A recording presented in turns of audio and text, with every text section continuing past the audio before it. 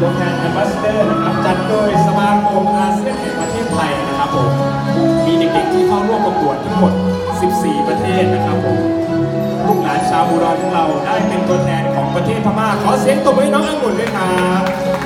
เป็นความภาคภูมิใจนะครับผม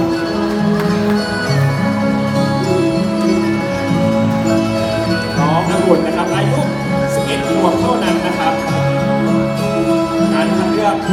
ที่เป็นแอม